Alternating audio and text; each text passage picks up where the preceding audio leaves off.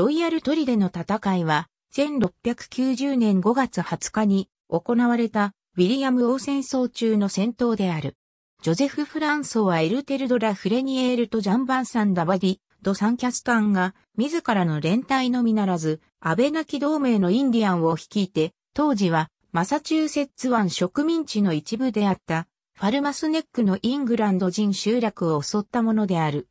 ここの駐屯隊の隊長は大尉のシルバヌス・デイビスであった。デイビスは1680年、フォルマスでインディアン戦争に備えた任務に就いたが、1690年に捕虜となり、翌年ニューイングランドに戻った。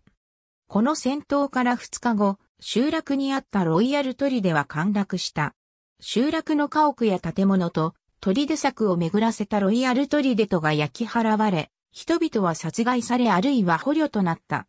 カスコにあったこの砦の陥落によりメインの人口は減少した。このため、インディアン軍はニューハンプシャーとメインとの境界を何ら報復されることもなしに襲撃することができた。1775年当時のフォルマスネックの地図、フォルマスにできた初めての駐屯地がロイヤルトリデであった。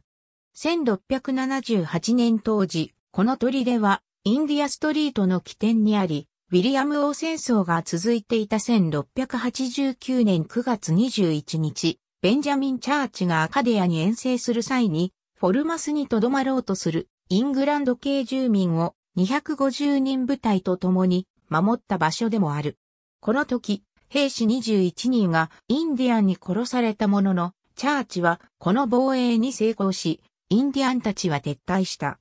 その後チャーチは無防備なイングランド系住民の一団を残してボストンへ戻った。エルテルは1690年にフロンテナック総督からメインとニューハンプシャーの境界にあるサーモンフォールズの襲撃の指揮を命じられ、成功を収めた。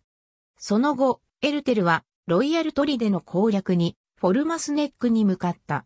ベンジャミン・チャーチ1690年5月、フレニエールとサンキャスタンが率いる400人から500人規模のフランスとインディアンの軍勢がフォルマスネックのイングランド系住民の集落を襲った。